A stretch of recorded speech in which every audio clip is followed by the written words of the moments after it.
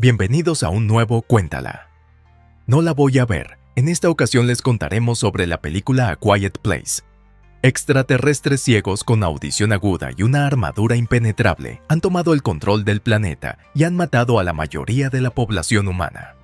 La familia Abbott, la madre Evelyn, el padre Lee, la hija sorda Reagan y los hijos Marcus y Bo viven en su granja aislada en medio de un bosque en el norte del estado de Nueva York y ha sobrevivido tomando precauciones como trazar caminos de arena para evitar pisar hojas crujientes y usando lenguaje de señas americano al comunicarse.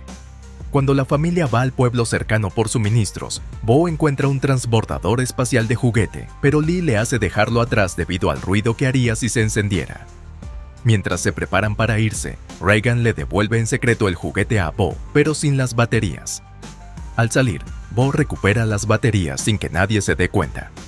Mientras caminan de regreso a casa, Bo enciende el transbordador espacial, que comienza a hacer ruido. Casi inmediatamente, una criatura cercana mata a Bo antes de que Lee pueda alcanzarlo a tiempo. Más de un año después de la muerte de Bo, la familia parece haber vuelto a la normalidad, con Evelyn embarazada de varios meses. Marcus a regañadientes va a pescar con Lee mientras Regan, molesta por no poder ir, visita la tumba de Bo. Mientras todos están fuera, Evelyn entra en trabajo de parto y mientras se dirige al sótano, pisa accidentalmente un clavo y rompe un marco de fotos, alertando a las criaturas cercanas en el área. Conteniendo las lágrimas en agonía, Evelyn entra al sótano para activar un interruptor, cambiando las luces alrededor de la casa a rojo. Ella logra esquivar a una criatura en la casa usando un temporizador de cocina, y Marcus y Lee ahuyentan a la criatura de la casa con fuegos artificiales, permitiendo que Evelyn dé a luz de manera segura a su bebé. Regan, al ver los fuegos artificiales, corre de regreso a la casa. Luego, Lee entra en la casa y lleva al bebé y a Evelyn a un escondite bajo el piso en el granero exterior. El llanto del bebé alerta a una criatura en el granero, esta criatura no logra encontrar el origen del sonido, pero rompe algunas tuberías de agua. Evelyn despierta en el escondite inundado con la criatura aún dentro y se ve obligada a esconderse detrás del agua que cae para enmascarar su sonido. Marcus y Regan suben a la cima de un silo de maíz y encienden una señal de fuego para otras granjas distantes, pero Marcus cae dentro del silo y queda atrapado en el maíz. La criatura en el escondite corre hacia el silo y ataca a Regan y Marcus.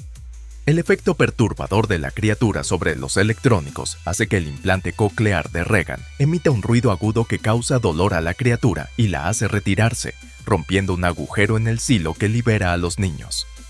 Lee encuentra a Regan y Marcus, los dirige hacia el camión y luego es herido por una criatura.